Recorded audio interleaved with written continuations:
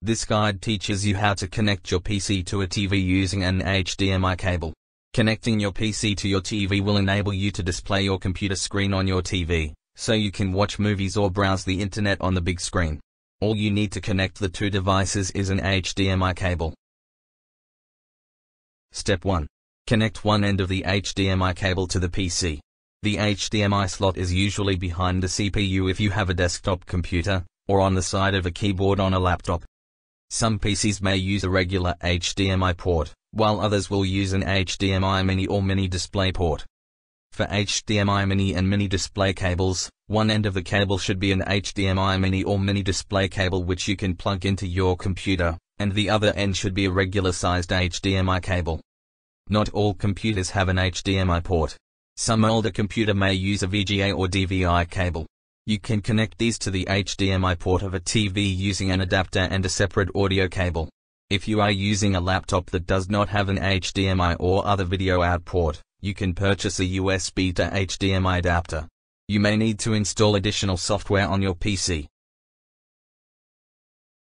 Step 2. Connect the other end of the cable to the TV. Find a free HDMI port on your TV and connect the other end of the cable to it. The ports are usually numbered and labeled with HDMI. Make a note of which HDMI port you are connecting to. Make sure you purchase an HDMI cable that is the right length needed to connect from your PC to your TV. Measure the distance if needed. Step 3. Use the TV remote to select the HDMI source on the TV. Look for a button on the TV or remote that says source, or input or something similar. Use this button to select the HDMI port you connected your PC to. After connecting the PC and TV together, sometimes the TV will automatically display what's on your computer monitor.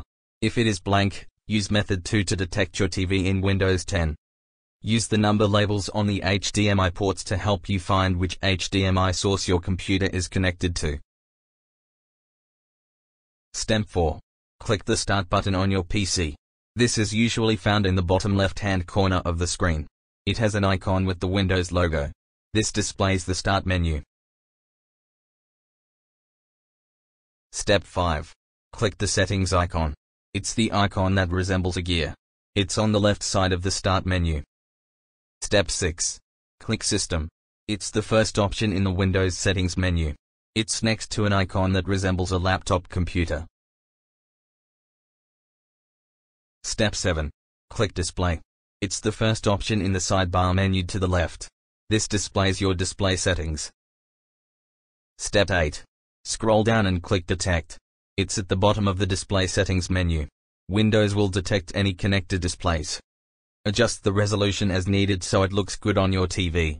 If you have an HD TV, Select 1920 by 1080 in the resolution drop-down menu.